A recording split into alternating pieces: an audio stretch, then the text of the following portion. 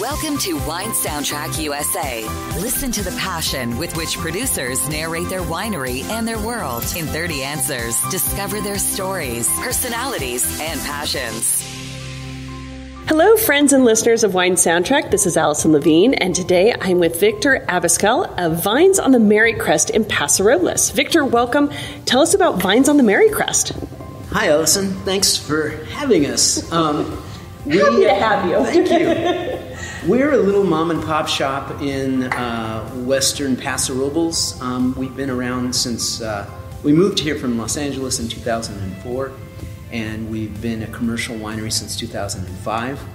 Uh, we own 26 acres here on the west side um, and uh, a compound or, or, or uh, a, a, space, a place originally owned by the Sauret family. Uh, Richard Sauret fame, very famous grower around these parts, and so we bought this property uh, from their trust, uh, the Sauret family trust, and uh, so that was way back in 04, and we've been um, battling ever since. So, and uh, so you said you have 24 acres, 26, 26, all planted. What grapes do you have planted here? Um, we have about 17 acres planted. I, I, I, plan on doing just a little bit more than that, but because I do everything myself and we don't have employees or anything, and, and it's just my wife and I, um, it's a little more than I can handle as it is. So, um, but I, am kind of dying to plant some uh, some other varietals uh, that I'm currently buying from people that, that I really want to just grow myself. So, I'll, I might get it up to 19 or something like that, but I don't think it'll ever be pulled up. Even though it, it deserves to be, it just won't be. Yeah. And what are the grapes you're growing here? Um, we grow all the red, the prominent red Rhones, so Grenache, Counoise, Cinsault, Mourvedre, and a, and a fair bit of Syrah. Um, we have a field blend, which is just behind you there, uh, which is a Tempranillo-based field blend. it, uh, but it, it's it's four varietals on one little spot, one little two acre spot. is Tempranillo, Cabernet Sauvignon, Carignan, and Grenache, and that just makes one wine for us. And then we have our old Zin in the back, planted by the Sauret family. It's one of the oldest in the region. It was planted what we believe to be in 1963, which, hey there. even even they, yeah, the cuckoo clock they, agrees. They think I'm crazy. and don't even ask me what that is because I don't even know. But uh, that was fantastic. Yeah, yeah. it's going to happen. So anyway, we've got this old Zin that was there. Was the only thing here when we started. So we, we, we basically bought an 80 year old almond orchard uh, where there were thousands of trees on this property, and then this teeny little Zinfandel in the back, and that's sort of what we the horse we jumped on when we when we started. So. Uh, that's one of the oldest Zin plots in the region. And white grapes? Uh, none. No. no. We, uh, we make a different white wine every year. So we never replicate the same white wine two years in a row. So we can do that because we don't. We, we can just buy what you want. Yeah, buy what we want, decide what we want to do, and that way we're we're nimble. Oh. And what's your total case production? It's about eleven hundred these days. Oh. Um, if you count champagne and red sparkling and all that, um, yeah, just about eleven hundred. Hmm. And where, what markets is your wine available in? Um, virtually none. Um, we are uh, we are in distributed fairly well in the state of Maine. Okay. And and other than one client, a resort in Utah, which is a really long story you don't want to hear, but uh, so we're in one place in Utah, the state of Maine, and our tasting room. We're not even distributed in the state of California. So people just have to seek you out. Yeah, which they seem to do. Or not. Yeah. So. and the name Vines on the Marycrest. Incredibly long story. Um, it's an unusual name, I uh, admit. Uh, it has to do with a time in my life when I was just discovering wine in, in my 30s. I was very late to wine, relatively. Uh-huh. And uh, I was I, I jumped in with both feet as far as making wine and teaching myself how to make wine. And at some point in the middle of that whole uh, home winemaking experience, I, I, I was like drawn to the idea that I was going to do something like this for real and change my career and everything like that. So I knew that was many years down the line, but I was committed to that idea. So I staked out a, um, a plot of land that did not belong to me that I felt no one would care if I you know decided to uh, plant a giant vineyard on, and um, and I did that. So I, I cleared this this property of the mustard weed and whatnot and brush and planted about a quarter acre of vines on. Where was this? This was on a nunnery. Um, it, it was uh, it, it, the the neighborhood I was living in at the time. Um, at the very very top of this hill um, neighborhood in, in, Culver City in Southern California. Uh, there's this old a Catholic woman's old folks home. So it's a rest home for either you're a nun mm-hmm. you can go there and, and live out your days, or you're an incredibly wealthy Catholic woman. And um, so this is a 14 acre property in the middle of Los and Angeles. Hence Marycrest. Hence, yeah. So I planted this vineyard and never thinking that they were going to find this this vineyard, which was of all the things I thought of at that time, the most foolish foolish thing that they'd never find it.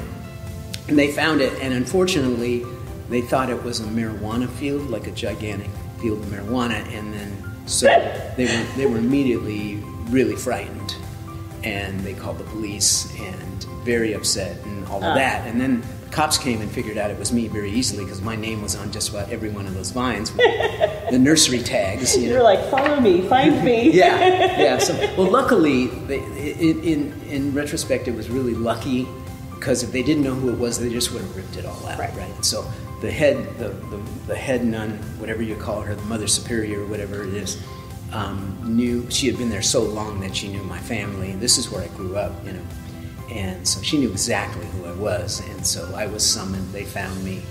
And this long, long sort of back and forth with the nuns um, started about whether I was A, going to be arrested, or B, get to keep my vines there uh-huh. and everything like that. And they went from, I'm, I'm really editing this down. Yeah, yeah. So, but it, they went from really wanting to do me harm, like put me in jail for this because they were so upset to completely having my back and supporting me with their archdiocese and, and everything like that. So uh, when, when my wife and I, I met my wife after that, but not too long after that, and we decided that we were just going to just come up to Paso and do our thing. We, in, in, tribute to them, because I wouldn't have met my wife, none of this would have happened had I not done that thing. Mm-hmm. So the, the, the, the, the facility is called uh, Marycrest Manor, and mine were the vines on Chris Manners of Vines on the Marycrest And what happened to those vines? Um, most of them, other than the Merlot I planted, um, were brought here, and they they are just behind you um, in that uh, aforementioned field blend. Um, I grafted over um, some. I changed a few things, but but there were many, a few hundred of them were dug up. They were actually moved three different times wow. in their lives, and so yeah, so they're. Uh, it, it, it's fun to think that there's actually vines on the Marycrest vines at vines on the Mary Crest. Not to confuse anyone. yeah, there's two different places, right? So, uh, so that's the story in in a very small nutshell. Well, yeah, we've got to keep it brief here because yeah. I have so many questions for you. So away. I'm curious. You said you got into wine a little late, later yes. in life. What would you say is one of your first memories relevant to wine? Um, the the comical um, gallon of uh, Gallo Hearty Burgundy in our in our family refrigerator that was never consumed by anyone. Uh-huh. You know, that sat there for 17 years, as far as I could tell, probably even longer. So um, it was just this thing that was there. You know, they had to move to get to the orange juice or something. That's my really my truly my first memory of wine. It's like, why is this in my refrigerator? And um, and then decades later, somebody uh, was visiting, visiting my home in Los Angeles and they left a Wine Spectator magazine. Um, and I had seen it at the airport. You know, you know, you see that, but you've never really opened it. Hadn't never had an interest to do it. And I was just sitting one Saturday afternoon and picked up this magazine, and I started reading and looking at the pictures and just going, "Holy cow! This, you know, these people know how to live." This doesn't look like the jug in my refrigerator. yeah, yeah. So that pretty much sparked uh, some, you know, at least bi-weekly trips to Trader Joe's just to buy wine from wherever and the buying of more magazines and just and then the buying of books on making wine and why they do what they do, where they do it, and all that. And um, it snowballed very quickly. And then I became this out of control collector guy, you know. Well, so on that note, in what would you say is one of those one of those aha moment wines you drink? Is there a particular occasion? Maybe it was early in your drinking that kind of set you on a path, Um, or maybe it was a little more later into it. But is there an aha wine for you? I think of 2 uh-huh. One, one is I was walking my dog in that same neighborhood where the Marycrest was, and I remember walking by this house with its garage open and these two older older gentlemen sitting there in, in lawn chairs, and I noticed that there were carboys everywhere and barrels and things like that, and and I kind of poked my head in and and said, you know, I'm I'm making wine now. I'm very interested in that, and and and they invited me over. This, this is a weird story, but uh, they invited me over and let me taste out of their barrel and stuff like that. And I remember being really, really impressed with what they were doing and that it was possible to do. You know, it's like, hey, I can. If they can do this, I can do this too.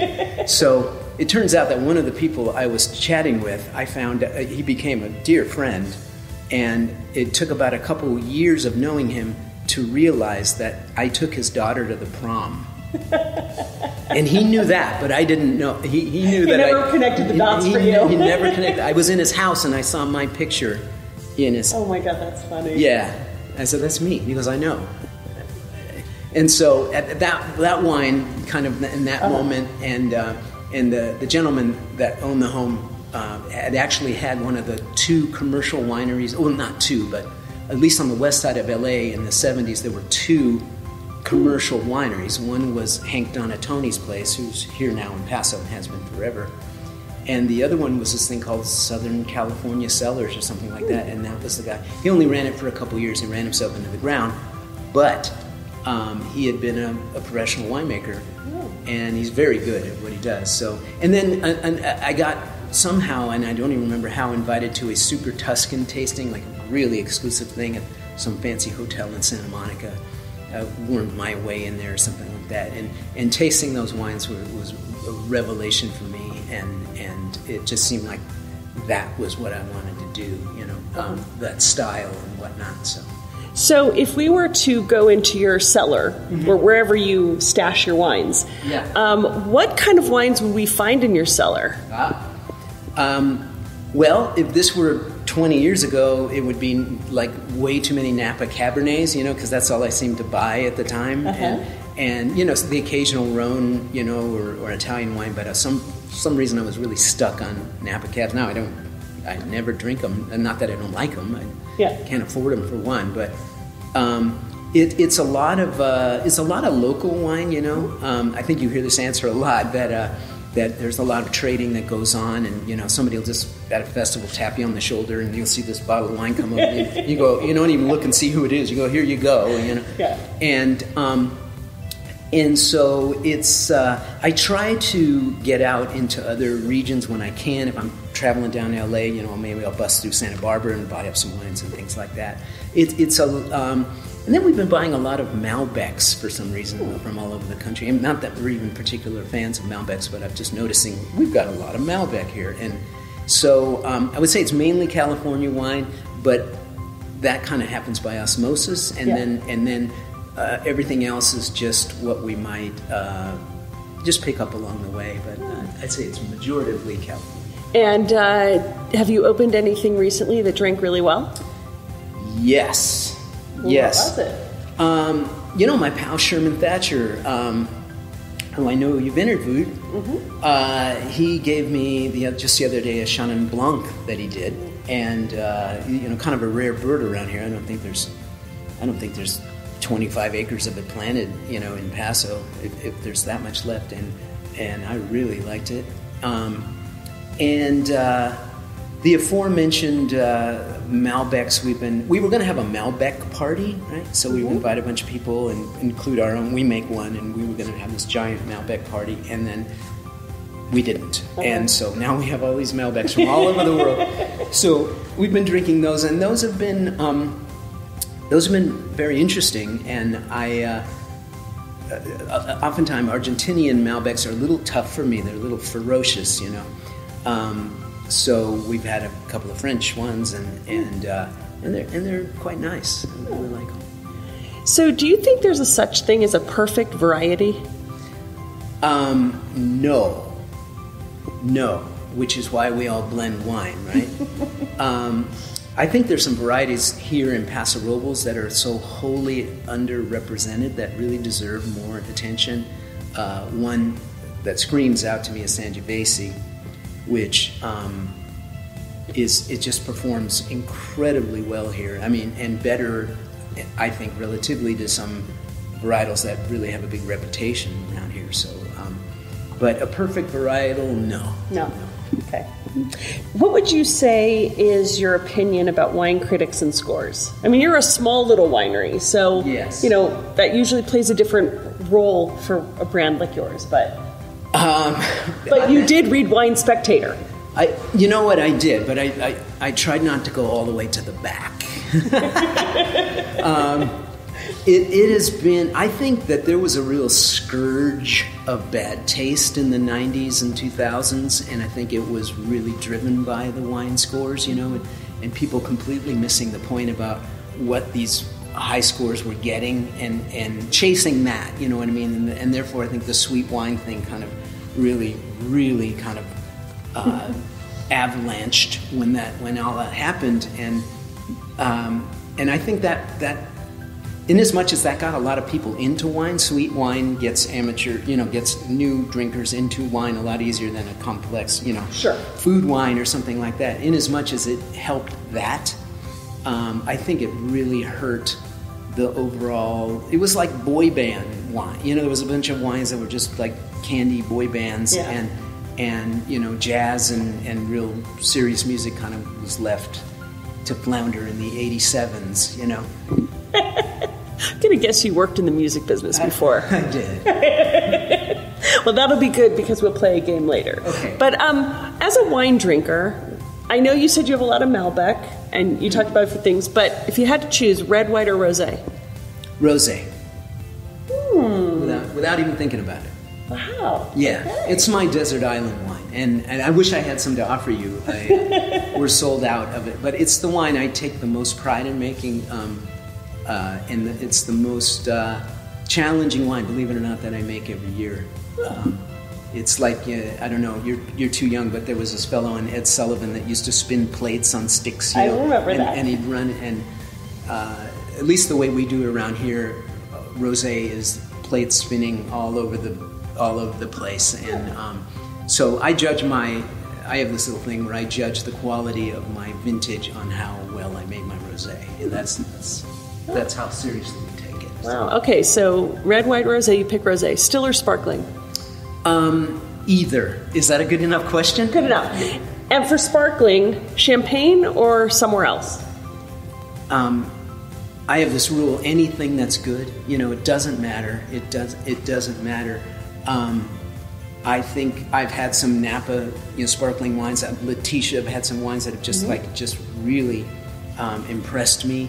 And there's uh, a couple purveyors here in Paso that are that are starting out and doing great stuff right off the bat. So you're an equal opportunist. I am, I am, and, and I'm really a bang for the buck guy. You know, I, I, uh, I'd, I'd uh, you know, I'll pay whatever for a wine, but not always. And and Yeah. so, um, so I, I'll explore different things. I think the best, one of the best sparkling wines I ever had was back in my amateur days um, in Los Angeles. Uh, a particular wine shop was selling a Chenin, a sparkling Chenin Blanc from Loire, and it was twelve ninety nine a bottle. And I bought probably fifteen cases of it or something. I was giving it to people, and it was like, "You've got to try this because it was, it was, it was." Uh, it was kind of a really life changing, you know, bet. It doesn't have to be, you know, Yeah. you don't have to play the expensive guitar to make good music. You know, it, it was just beautiful. When it comes to, I mean, you drink a variety of wines and like a variety of wines. So when it comes to food and wine pairing, do you follow any rules or do you just sort of see what you're in the mood for wine wise and let it happen? Or, or do you follow the old rules of white wine and fish, red wine and, and meat? Or, you know, is there some other way to live by that? I think, yeah, there is some other way to live by that, and and I mean, if you can get close, you know, uh, you're you're doing all right. But you know, there, there's there's things that people haven't yet discovered. You know, there there are there are pairings that is like, hey, I didn't know. You know, we have a, um, a dessert wine that we that we make, and in particular, we've tried it with everything under the sun, and it's its most favorite thing to be paired with is a cheese course. You know, and it was like that's not what I thought was going to happen when I made this wine. You know, so. Um, we, my wife and I play a lot of a game called Guess That Wine. You know, so she'll be making dinner, and I won't really know what she's making, or she won't know if I'm making dinner, or whatever. And so we we kind of take it to a point, but we don't we don't take it all that seriously. But we're not gonna we're not gonna have a Tannat with a with a you know a, fillet of sole or something. yeah, but but um, you know, it's but sometimes, especially if, if, you're at a restaurant, you can really zero in and you know and talk to the, mm-hmm. the Som or whomever. Um, so it really depends. It really depends. But at home, um, we try, but we don't always hit it on, on the mark, and it's okay. Yeah. It's uh, what what do you sort of guide by? Just kind of mood, and then and. Uh, um, yeah, or sometimes my wife will be just in the mood for something, and then that wine will dictate what we're making or how heavy it is that we're going to make it or something like that. So um, it, it, it's a it's a big circle. You know, it's like spin the wheel. Yeah. And, and um, we drink a lot of wine at home, and and there's really there's no, there's not a rhyme or reason to it. You know, but we always enjoy what, what we do. So, for somebody who hasn't had the pleasure to taste your wines yet, mm. what do you think they're missing out on? Huh. Uh, loud music, for one, because uh, we'll always give them that. Um, I think uh, I think we have a pretty somewhat singular style here in Paso Robles. We lean we lean on the European side of the of the line in the sand, and um, you'll you'll find I think, if, or someone will find if they drink our wines that there's a lot of salivation happening. Mm. You know, these are very mouth watering wines, and they're, they're, they're not necessarily the biggest wines in Paso. I wouldn't even uh, want to get in that contest. You know. But um, but we have a real. I, I, I like to say that if I if you came in here and tried our wines, if I blindfolded you and spun you 50 times and you suddenly didn't know where you were, you might not think you're in California. And, and that to me is, is uh, I came up with a funny little thing um, that the vines on Marycrest wines are mullet wines. They're California in the front and European in the back. So, if space aliens were to land on your property, which of your wines would you introduce them to? uh, uh, so mullet wearing aliens, m- of course. Wearing, ooh. um, I think I would I would introduce them to uh, a wine we make from this field blend I mentioned before, which no matter what I do uh, with it, uh, because there's really different ways to approach making wine out of a field blend. You mm-hmm. make it all at once, or you can, you, you know. So um, I would point him to that wine because it it really, no matter what, it's always our most European tasting wine. It's it's um, it's just got one of those things where if somebody gave it to me and I didn't know I was drinking it, I wouldn't guess that it was California. And then I kind of like that I like, because the wines in in, Cal- in Paso are so typically Californian. I mean, they're almost quintessentially California. The poor aliens might think that they landed in the wrong place. That's okay. They can, they can go right across the street. And so, yeah, I, I, think I would point them to that one just because it's it's such a, it's anomalous a little, you know. So I know that this is a, a small family-owned business, and it's you and your wife, and uh, you have a daughter and a son. And a son. Do you make them work? Uh, it doesn't. I, I, do, but they don't do it. So. Okay. Um, so for you and your wife, or for you alone, have you? Do you have any rituals you have at the start of harvest? Any traditions mm. during harvest time or at the end? Um, trying to think. Like I know a buddy of mine who pours a bottle of his previous year's rosé into mm-hmm. the whatever it is that he's making and things. Yeah, like there's that, or there's you know growing a beard, or there's yeah, wearing certain I, socks, uh, or. uh, I've had my share of beards that probably didn't make it all the way through, you know, that, that just got too uncomfortable or, or something. I'm trying to think. I mean, we make wine the same way, you know, every, every year, and um, I, I, maybe just praying that my equipment works when, when I'm starting you know, after nine months or whatever of not uh-huh. making wine, that everything um, will, will, will, turn and do its thing. Um, maybe that, but I, I can't think of a, a, tradition other than we listen to a lot of music. Um, you know, there's 1,500 or so LPs in our winery and two separate sound systems, you know, whatever you want to be doing. So uh, I guess there's there's just a lot of loud sounds going on. Well, speaking of sounds, um, these are your vines. This is your property. You walk through it. Mm-hmm. Have you been known to talk to your vines, um, or do you sing to your vines, or do you play music for your wine, or talk to your wine? I, I always talk to my wine, and I always play them uh, really good music. Um, as far as the vines go, I'm usually swearing at the critters more than t- more than talking at my vines. So, um, cursing bees, birds, gophers, deer, uh, boar, um, you name it, ground squirrels. Um, so, if you can call that singing, I'm, but I'm usually just yelling at the top of my lungs. And any type of music, any particular music that the that the wine oh, seems to like more than another? Um, well, I tell you, there's there's a there's certain, uh, as I mentioned before, uh, during during harvest is when I usually play LPs, mm-hmm. you know, and, and all the other times of the year I'm just running, you know, streaming music or, or a CD carousel or whatever like that. And so there are certain LPs that get dug out year after year, even though I try to hide them from myself so I don't play them over and over again. So there's, there's a couple of records that, uh, that my wines, maybe they're sick of them now or something like that, but uh, there's one by this Chicago band from 1967 called Odell Brown and the Organizers, and it's instrumental B3 organ, funk, jazzy, kind of hard driving uh, stuff that that um, really seems to get me in the mood to do what I have to do in there. And um, and it better be getting the wine in the mood. Yeah, yeah. It seems to be. They, you know, so far so good. um, you were saying that you do, you know, every year you're making you make wine the same way every year. So, in terms of vintage, do you feel that there's a lot of variation from vintage to vintage, or do you also feel that there's a lot more similarity the way making wine has a lot more similarity? It's a great question. Um, I would say the first 10, 12 years of doing this, there was there was more similarity than the last six or eight. So, um, you know, a, a, a, vintage can be going along smoothly and you and you think, hey, this is going to be the greatest thing ever, and so far so good. There's no rain, there's no frost, and you know, temperatures are within a certain window and all that.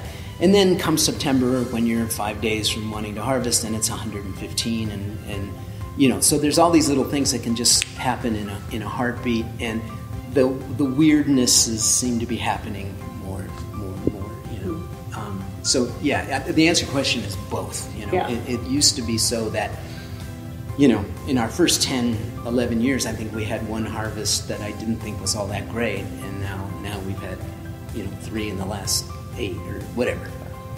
So I know that wine wasn't something you initially set out to do when you were a child. When you were little, what did you want to be when you grew up? Wow, that's easy. Uh, a uh, from uh, from six or seven to about fifteen or sixteen, a, a professional baseball player mm-hmm. and then from 16 until now, a rock and roll star. So, uh, uh-huh. so yeah, it's really easy. I'm, I'm, I'm still super, dreaming. Yes, yes, still dreaming. and when you worked in the music industry, what did you do? I was a technical engineer in recording studios. So I was. Uh, if people don't know what that is, I was a um, the doctor of recording studios. So if there was a problem they, I was called if there was a studio to be built or designed. I was called if somebody didn't know how to work a certain piece of equipment or something wasn't going right in a session. I was called in. So I was there was always a, a usually a fire when, when I'm around, you know, and I'm the guy putting out the fire. And that's why, which we'll talk about later, visiting here, your tasting room is soundproof like a recording studio. It is. It is. When we built this this uh, this room, uh, Alice and I are sitting in a, in a, beautiful room here that we had so much time to think about it um, that uh, to get it approved and save the money to build it actually that um, we built it as a recording studio. So, and, and, and I'm convinced that if it said recording studio on the outside, it would be the best recording studio in the county. So we use vintage preamps and vintage microphones and studio quality microphones. And so when we have uh, we have shows, concerts here, which uh, happen two three times a year, um, we record them in high definition, multi-track, and we uh, we released a CD um, last year of a, a five-year snapshot of, of people who've played here. We invite all our favorite artists in the world. We have, we've had people from all over the world playing. And uh, as you were telling me before, if you join the wine club, you get CDs. Yeah, yeah, that, that uh, yeah. It, it's weird because this is this this this wine club we're shipping out right now is the first year we, we uh, the first shipment we've not sending a CD because CDs are going right. Going you get music, you, you get, get, a playlist. Yeah, yeah. So for 14, for 14 years, you got a CD and, um, in your wine club box, and then now we're um, we're doing the same exact format, but instead of a CD, it's a private Spotify playlist that we give you the link to, and so that's so I was going to ask you when you're not making wine, what do you do in your free time? But I'm going to guess music is what you do in your free time. Yeah, I listen. I listen. Um, you know, uh, all my friends are in bands or DJs or whatever, um, and uh, yeah, I listen to music. I, when I'm in, in, the vineyard, I got an iPod and a headphone, so I, I average, you know, I don't know, 10, 11, 12 hours of music a day on most days, and so I, I listen to a lot of music, and so I, am very thirsty for music. Huh. Um, it would be probably too much to ask you who your favorite singer or artist is. Wow, it would that that's really hard. Um, you know, of all time, you know. Um, Do you have one of all? Yeah, you know, there's. Uh, I mean, we have to uh, we have to say the Beatles, and we and we have to acknowledge Buddy Holly, and then um, there's bands uh, like NRBQ, who I adore, um, seen them more times than I can think of. Um, the Lovin' Spoonful, Love, the band Love. Um, there's just so many that I just I just marvel at how great they are. Genesis, another early Genesis, another one that um, which is kind of surprising to some people based on my other yeah. tastes that I like this band, but I, I adore that band.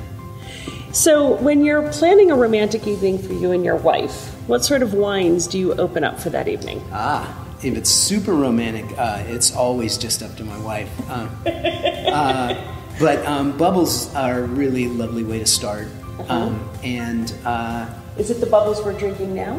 Um, it might be. Um, this this is a brand new release for us, and um, That'll do nicely. That's that's creamy and, and sexy right there. And this is um, the grapes are Grenache, Counoise, and in Viognier, but in the in the uh, in the opposite order. So Viognier dominant, Grenache, and Counoise. Mm. Yum. I had to just you know wet my yeah. palate a little so I can keep going here. Um, when you think back um, in your career and everything you've done, is there a piece of advice that has kind of carried you through or that you try to live by? Um, yes. Yes, and there's two. Um, one, one given to me by that gentleman in that garage that mm-hmm. I mentioned before. When I was just beginning and I had told him what I had done, I, I thought I had messed something up pretty good. And, and he said to me, and this, this rings in my head it's amazing how often I think of what he said to me.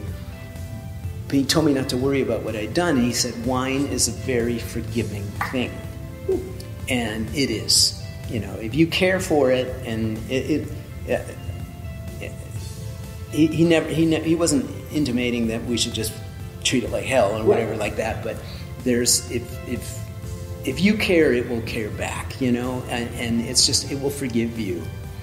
Um, and that that's always been really important in because I, I, experiment a lot and I really get out over you know I walk the tightrope um, in our style of wine you know mm-hmm. I'm, I'm, really I work in a really dangerous area you know higher acid wines and, and things like that. And and so sometimes you you know you go a little far or whatever.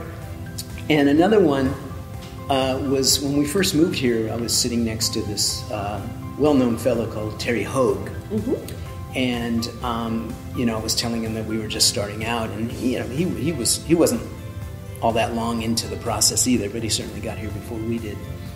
And he said to me, before you make your very first bottle of wine, you have to know where you're going to sell it before you make it. and of course, I didn't listen to him. Um, but it is uh, no truer words have ever, you know, you can make all the wine you want. But you gotta sell it. You gotta be able, you gotta know how and where you're gonna sell it, and um, or else you're you're gonna give it away, or, or it's it's it's a bad scene, you know. Yeah. So it's really easy to make wine. It's really hard to sell wine. If you could offer a piece of advice to our listeners, what would you want to share? Ah, um, who are interested in getting into the wine business, or just no, drinkers. oh oh I see. Okay. Um, you know, get- Buy wine to help that winery who Yeah, needs someone to sell. right. you know, um, there, there's people that come into our tasting room that. that I I, uh, we always ask people what brought you to our winery because we're we're so hidden and we're kind of just we're not on any particular radar, so to speak. You know, we're not in this the, the scores or anything like that, and we're not you know we just kind of we're not in any club, if you will. So we always ask people who finally make their way to our place. It's like what what brought you here? And they say, well, we like to go to a new a couple new places every time we come, and I always applaud that, you know, and. Um, I, I, I would my advice would be you know just don't go to the same places you go to or you know if you can buy their wine in the supermarket or Costco or whatever go somewhere else or and and ask people behind the bar you know where should I go? What do you like? You know why do you like them? And just try and discover um, people who are really uh, you know doing it themselves. You know there's there's a lot of people making wine that they don't touch their wine you know they, they don't have their hands on it. And nobody touches my wine but me no Right. one. And so um, that that would be interesting to me if I think if I were on the other side of the counter who's the guy that you know looks like he was fighting with his wine not you know uh, so I guess I guess that just explore and and ask questions and and and just don't buy what you like all the time at this at the store. Try something from you know Hungary or uh, or something. Just just branch out. When you look back at um, your career, what would you say is one of your proudest achievements to date? Uh, that I'm still married. Yeah, I think that one. Um, running a business with your spouse and, and running and basically starting a business from nothing, from next to nothing, because we didn't, you know, uh, there was no winery here. There was there was trees and whatnot. So we, we started from less than zero. Um, I think I think in just surviving uh, in this business in in an in a really crowded, let's just say race, if you will, and sticking to my guns stylistically and not chasing a bunny down a hole as far as like I want to get a good score, so I'm going to make a big fat jammy thing or, or whatever. Um, and so I just think uh, believing in myself and and um, knowing or feeling that what I had to say meant something. I guess. Like that. So, um, complete the sentence for me. A table without wine is like. Uh, there better be some beer around, uh, but I, I would say it is a puzzle missing a piece. You know, um, Oh, I like that. yeah. So you can, you know, when you know we've been doing puzzles of late, and uh, we might buy one at a thrift store, and it, you know, we're like, oh my god, there's a there's a piece missing, and it's just the worst. It's just the worst. So, So that's a I table say- without wine. I would say. I like that. Okay. Um, if you imagine a scenario where you're, it's a restaurant and a dinner table, and there are people sitting around it, and, and the paparazzi outside are really excited because someone important is sitting at that table and they're drinking your wine, who would you want that person to be? Um, I would. Can it be two people? Sure. Yeah. I mean, I- it's a dinner table. Okay. um, I would say Bach and Buddy Holly. That's the, those are those are I, when I think about an interesting combo. yeah, um, revelatory people, and you know uh, Buddy because he died so young and he had so much influence uh, that he never knew he did right, and Bach just because I just want to hear what he sounds like when he talks. You know, like what what would he say if I said hello? You know. Um, so I didn't. I wouldn't even really care if they liked my wine or not. I'm, I doubt Buddy Holly would, was, was a wine kid, you know, at 22. Oh, you But- never know. Never know. But uh, yeah, you never know. Maybe that's someone I'm short. But I think I think those two gentlemen, just because I, I think about them a lot. Very cool.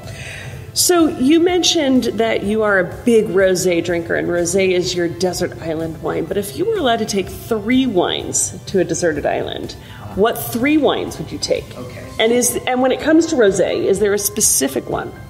Um, I, I, I love rosé because it's so malleable. You know, there, there's so many styles that are good. Um, so I would, you know, there, there's some. I, I could be happy just having all French rosé, but um, there are uh, American producers.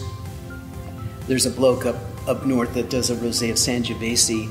You know, he wins the San Francisco Chronicle every year with this every year with this with this rosé of Sangiovese, and uh, and it's really he's really deserving of. it. I forget even who it is because it's been a while, but.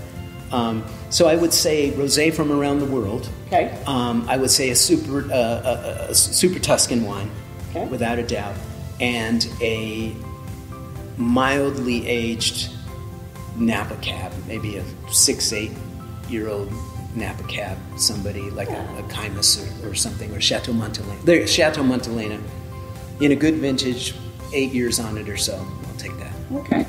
Now, we always play a fun game at the end of this where we pair wine and music. This is going to be so easy for you that normally I'm like three wines and like it's pulling teeth, but with you, let's let's see how let's do like a fast round here. I'll throw out wines, wines based on what you've talked about or you know, and you tell me what you'd want to be drinking with it or what listening to, what it kind of conjures for you. Okay. So let's start with um, uh, let's start with that um, Chateau Montelena. Oh, um, something. Uh, Miles Davis. Uh, something um, mid-period. You know, kind of blue uh, uh, era. Okay. Nothing too experimental, but uh, silky, dark, brooding music. Super Tuscan. Um, that, that gets a little a little more in the harder edge stuff. I would say um, maybe live Stones, live you know some some Mick Taylor era Stones, um, sloppy on drugs. You know. Okay. That sounds good. Uh, rosé, but how about Provence rosé? Oh gosh, um, Joni Mitchell on a, on a you know out, out outside singing to me in person. And re- rosé of Sangiovese from the guy you mentioned. north. Um, how about? How about?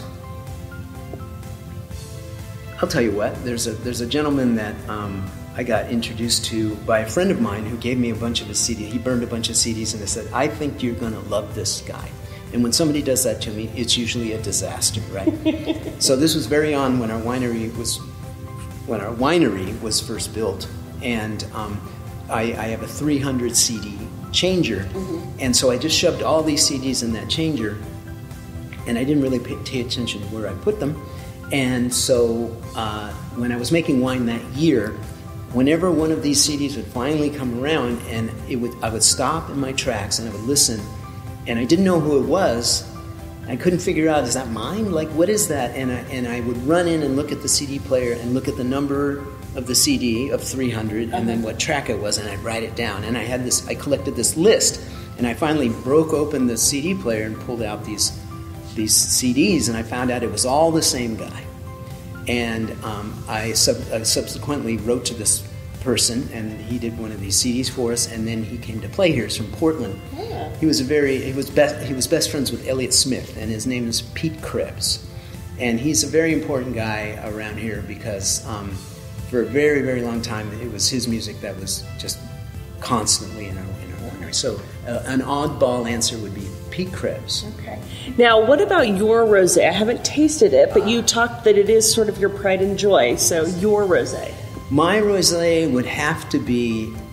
Uh, And your rosé is made with what grapes? It's a, a GSM, Okay. and um, but there's usually a little Z in it also, um, and Z is a very important part of uh, of that rosé. Um, Z gets a bad rap for you know for obvious reasons as far as pink goes, but it's an actually an incredible um, uh, element of rosé. So. My own rosé would have to be with my favorite band because my own rosé is my favorite. Um, so I would think uh, uh, NRBQ uh, at Yankee Stadium album, 1977, uh, um, and I could be I could be really happy with that. Okay, um, sitting here with a couple wines in front of me, your Spanish bombs. Yeah. What would, what music would we listen yeah. to? Um, I would think uh, maybe the Buena Vista, even though they're Cuban, uh, how about the, the, Buena Vista Social Club?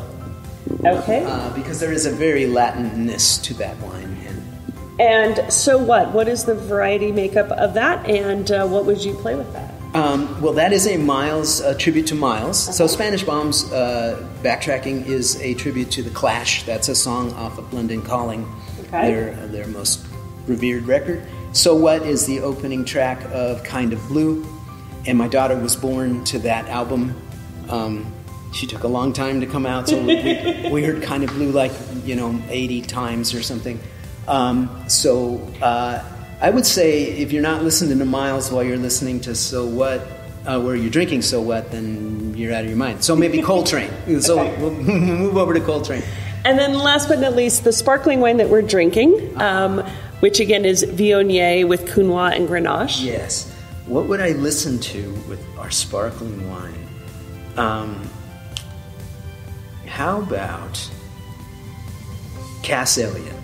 Cass Elliot, who, whose voice just sends me places. Mom, also known as Mama Cass. Yes. Um, she, uh, she, her voice just makes me happy, and this wine makes me happy. So um, it, it, it, she sends me places. So I love it. We could keep doing this, but got to watch our time and um, as much as you want. As, so I have um, two more quick, one more quick question for you, which is when you think about um, traveling for wine, mm-hmm. what's one place at the top of your bucket list that you are like, that's where I want to go explore? It's easy. Uh, New Zealand, New Zealand, and I think you get that answer a lot.